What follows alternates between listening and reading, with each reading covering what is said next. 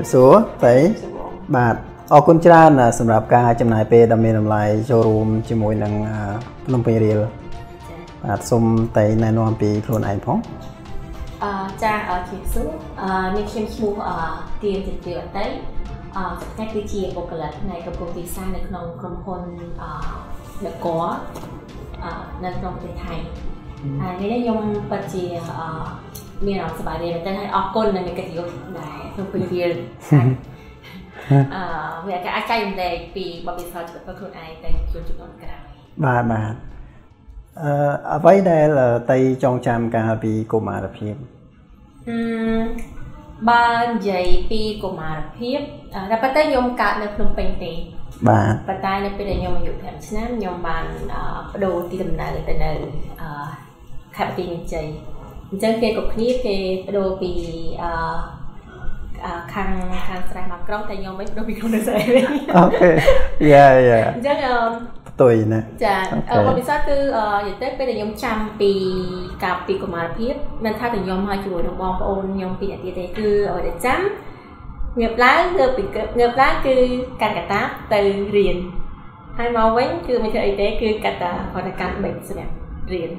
អញ្ចឹងអ្វីដែលខ្ញុំចង់ចែករំលែកកន្លែងនេះគឺខ្ញុំគិតពីអឺខ្ញុំអរគុណម៉ាក់ខ្ញុំហើយអរគុណប៉ាខ្ញុំដែរដែលពួកគាត់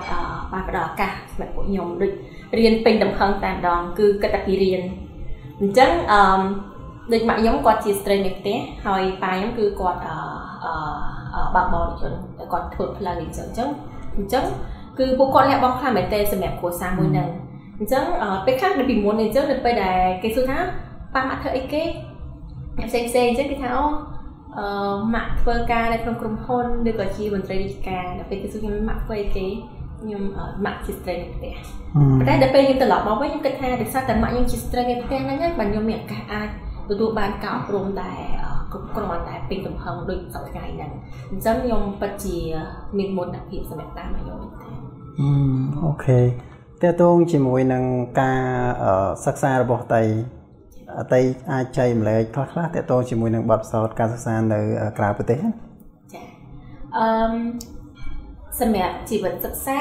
ខ្ញុំបានចប់មហាវិទ្យាល័យផ្នែកអភិវឌ្ឍសេដ្ឋកិច្ចនៅសាលាភូមិន្ទវិសាស្ត្រនៃវិទ្យាសាស្ត្រសេដ្ឋកិច្ចបន្ទាប់មកខ្ញុំក៏បានទទួលហាត់កទៅរៀនថ្នាក់បញ្ញាបត្រផ្នែកទីផ្សារនៅអឺប្រទេសថៃ ហើយបន្ទាប់មកក៏បានបន្តថ្នាក់អនុបណ្ឌិតផ្នែកគ្រប់គ្រងវិជ្ជាបន្តទៀតហើយអឺខ្ញុំបានបញ្ចប់ពីហើយអញ្ចឹងរយៈពេលជាង8ឆ្នាំតែខ្ញុំនៅក្រៅប្រទេសរៀនបូកជាមួយនឹងធ្វើការផងគឺខ្ញុំគិតថាវាជាអីដែលផ្ដល់ដូចជាផ្លាស់ប្ដូរជីវិតខ្ញុំច្រើនផ្លាស់ប្ដូរយ៉ាងម៉េចដែរអឺដូចមានដូចខ្ញុំជំរាបមុនអញ្ចឹងខ្ញុំនៅផ្ទះគឺខ្ញុំកាន់តែកតាទៅរៀនហើយមកវិញដាក់តែបញ្ចុះវិញ បាទអញ្ចឹងនៅពេលដែលខ្ញុំទៅរៀននៅក្រៅប្រទេសអឺអូខេអ្វីមួយដែលយើងទទួលបានគឺតកតងចំណេះដឹងនៅក្រៅប្រទេសព្រោះនៅពេលដែលខ្ញុំរៀននៅទីនោះគឺជាសាលាឯកជនអឺអញ្ចឹងខ្ញុំមានឱកាសជួបជាមួយមិត្តភ័ក្តិផ្សេងផ្សេងជាច្រើនដែលគាត់មកពីប្រទេសផ្សេងផ្សេងអញ្ចឹងធ្វើឲ្យខ្ញុំខ្លាចជាមនុស្សម្នាក់ដែលមានទំនុកចិត្តច្រើនព្រោះពេលខ្ញុំចូលធ្វើការចូលខ្ញុំពេលខ្ញុំចូលទៅដំបូង អឺពេលខ្ញុំចាំបានថាពេលចូលទៅហ្នឹងគេមាន orientation ហើយគ្រប់គ្នាមើលទៅគឺគេ cool មែនតើអឺព្រោះសាលាហ្នឹងគឺជាសាលាថ្លៃសាលាឯកជនដែលមួយសាលាមួយក្នុងសាលាថ្លៃនៅនៅនៅនៅប្រទេសថៃអញ្ចឹងបាទអ្នកដែលចូលរៀនពីច្រើនកូនសិស្សពួកគាត់សតអ្នករៀនអ្នកមានអ្នកមានជីវភាពទូទាអ្នកមានអូខេឬក៏គាត់ជា exchange ដែលមកពីក្រៅប្រទេសបាទអញ្ចឹង បើប្រៀបធៀបទៅខ្ញុំជាអ្នកគេពេលហ្នឹងខ្ញុំមានថាខ្ញុំមកគ្រាន់តែខ្ញុំមកពីសាលាខ្ញុំមកប្រទេសមួយដែលមិនតអនុវត្តម៉ានេះហើយមិនធម្មតាប៉ុណ្ណឹងទេមកពីតាមខេត្តទៀតដល់អញ្ចឹងទៅខ្ញុំមានថាខ្លួនពេលហ្នឹងខ្ញុំមានថាខ្ញុំខ្លាចមែនតើហើយខ្ញុំមានថាអត់ស្មាននឹងចិត្តលើខ្លួនឯងប៉ុន្តែនៅពេលដែលខ្ញុំអឺត្រឡប់មកវិញនៅពេលដែលខ្ញុំរៀនខ្ញុំនៅពេលខ្ញុំរៀនខ្ញុំភ្ញាក់ផ្អើលមែនតើដែលខ្ញុំអាចទទួលបានលទ្ធផលល្អជាងពួកគេអូខេ ព្រោះនៅពេលដែលនៅពេលដែលរៀនពួកគេចេញពីរៀនពួកគេអឺអឺអឺកំសាន្តអីផ្សេងផ្សេងចឹងទៅទៅមើលកុនមើលអីចឹងទៅតែខ្ញុំបាទឡាយអញ្ចឹងនៅពេលដែលខ្ញុំទទួលបានលទ្ធផលល្អជាងគេហើយខ្ញុំថាមិនមិនសំខាន់ថាពីមុនយើងជាណាគេតែអត់នៅពេលនេះយើងខំប្រឹងយើងនឹងទទួលបានទាំងអស់ហ្នឹងបាទហើយពីមុនដែលដំបូងដល់បំផុតដែលពួកគេអត់គេគិតថាយើងអត់បកកាយហើយគេអត់រករអត់ចង់ទៅជួយធ្វើគ្រប់អាស្រ័យមកយ៉ាងមានគេទទួល រហូតជាម្នាក់ដែលគេអូមកជួយជាមួយខ្ញុំបានអត់ជួយជាមួយខ្ញុំបានអត់អូខេខ្ញុំមានថាវាជាអីដែលខ្ញុំមានមន្តភាពសម្រាប់ជីវិតនៅមហាវិទ្យាល័យតើទៅចំណេះដឹងបាទអាក្រៅពីហ្នឹងគឺតកតូនទៅនឹងរឿងការអឺបំដិនជីវិតតខ្លួនបាទអឺព្រោះនៅពេលដែលខ្ញុំទៅដល់ទីនោះការហាត់ករបស់ខ្ញុំវាមិនមែនជាហាត់កដែលពេញដូចហាត់កដែលរដ្ឋាភិបាលអឺ ឲ្យទេអាហាររបស់ខ្ញុំគឺជាអាហាររបស់សាលាអញ្ចឹងខ្ញុំគាត់អត់គាត់ត្រឹមតែថ្លៃសាលាបាទចំណាយការចំណាយផ្សេងផ្សេងគឺយើងចំណាយខ្លួនឯងតែពេលហ្នឹងខ្ញុំអត់បានយកអឺការឧបត្ថម្ភពីអ្នកគេគឺខ្ញុំតាំងចិត្តថាខ្ញុំនឹងព្យាយាមរកតែខ្លួនឯងអញ្ចឹងទៅពេលនោះខ្ញុំធ្វើខ្ញុំរៀនបដាខ្ញុំធ្វើការបដាធ្វើការបដាធ្វើការសពគ្រប់បែបយ៉ាងគឺតាំងពីអ្នកបកប្រែនៅរោងចក្រដែលទៅអឌីតនៅរោងចក្រ បកប្រែនៅពេទ្យជួនគេដើរលេងថតសម្លេងបាទអឺថតកុនខ្លួនឯងក៏មានថតកុនទៀតចាហើយជួយទៅក្នុងកុនទេគេក៏មានអូខេនិយាយទៅនិយាយទៅគ្រប់បែបយ៉ាងដែលខ្ញុំមានថាខ្ញុំអាចអាចចូលចំណូលដើម្បីអឺគ្រប់គ្រងការងារខ្លួនឯងបានហើយខ្ញុំក៏ធ្វើបានមែនអញ្ចឹងក្នុងរយៈពេលប្រហែលឆ្នាំដែលខ្ញុំនៅនៅប្រទេសថៃនេះគឺគឺខ្ញុំបានគ្រប់គ្រងខ្លួនឯងគឺខ្ញុំបានអបថំខ្លួនឯងពីសួរខ្លួនឯងហើយ យើងរៀនដើម្បីចាស់ចូលជាមួយនឹងការធ្វើការជាមួយនឹងផ្សេងផ្សេងឬក៏នៅជាមួយនឹងគេរស់នៅខ្លួនឯងបានទឹកនៅណារៀបចំលុយកាក់បានមកប៉ុណ្ណឹងគឺត្រូវធ្វើមិនធ្វើមិនអាហ្នឹងគឺជាបំណិនជីវិតសំខាន់សម្រាប់ការជីវិតរស់នៅខេត្តប្រទេសកត្តាត្រង់ណាដែលធ្វើឲ្យអាច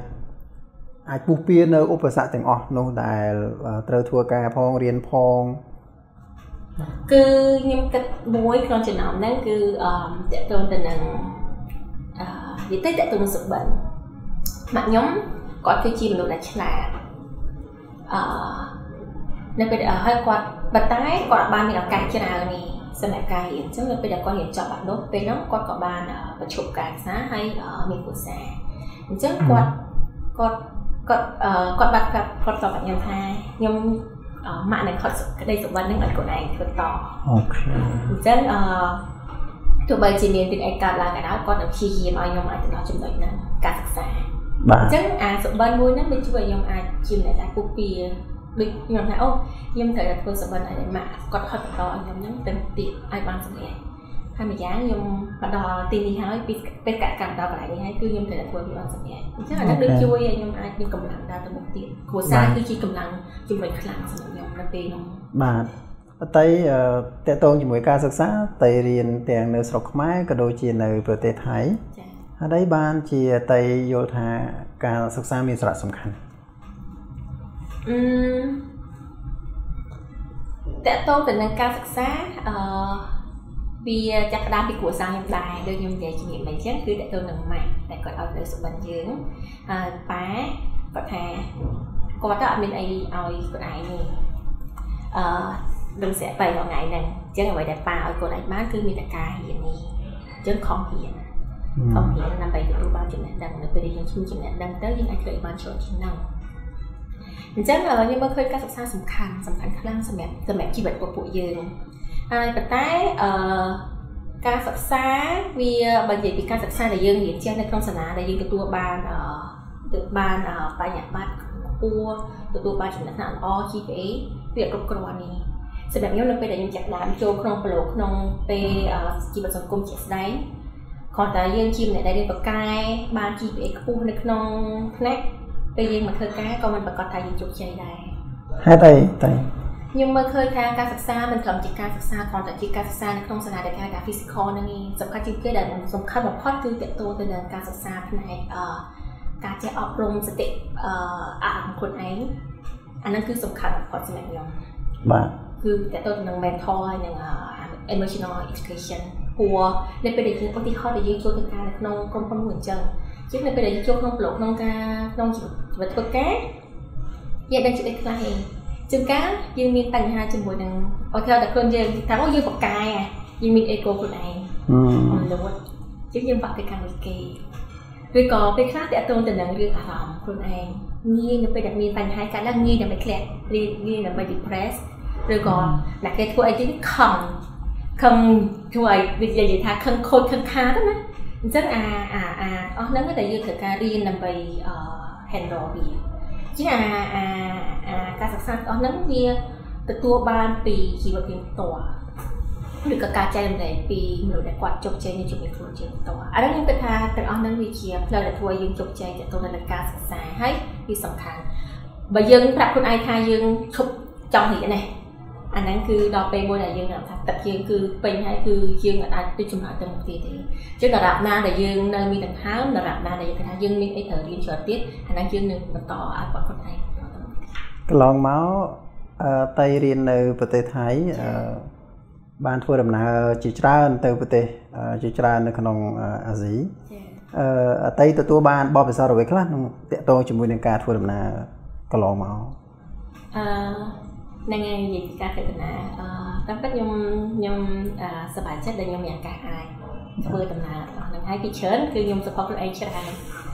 មិនសូវជាបានដល់ក៏ពីពីកាណានេះប៉ុន្តែវាធ្វើឲ្យខ្ញុំការដែលយើងទៅធ្វើដំណើរដោយដោយខ្លួនឯងគឺវារៀងប្លែកពីដូចយើងទៅស្កាសា លាតែពេលយើងស្កាសាលាយើងទៅទៅយើងធ្វើតាយើងស្កាសាជាដើរលេងបានតិចតួចយើងអត់បានមានពេលវេលាគ្រប់គ្រាន់នៅក្នុងការទៅរស់នៅជាមួយនឹង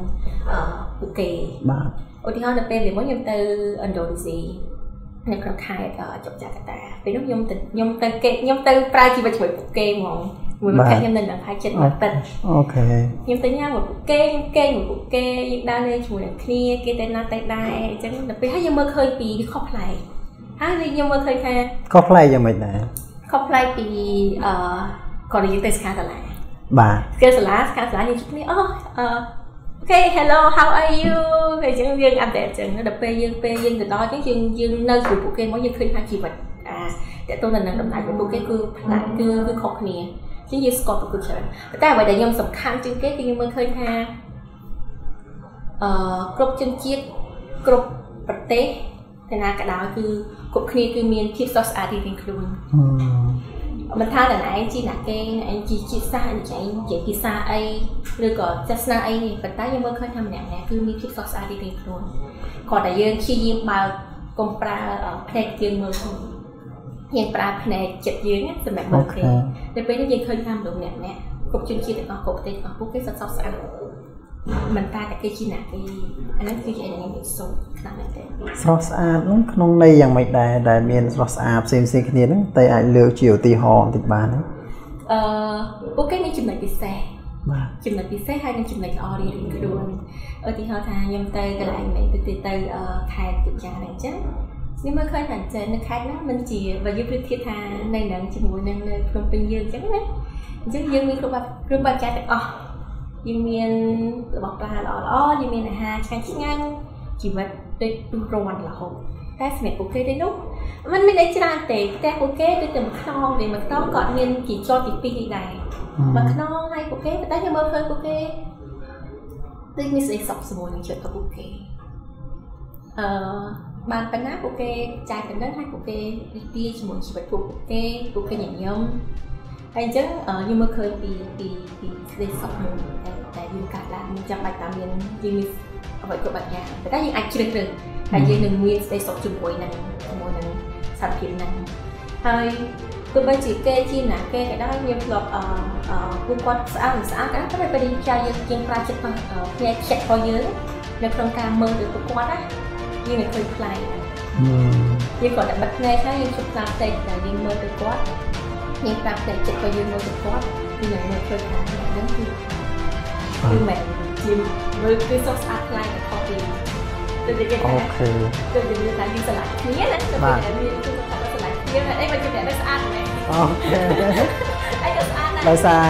យើងប្រើអារម្មណ៍ប្រើចិត្តក្នុងការមើលអូខេ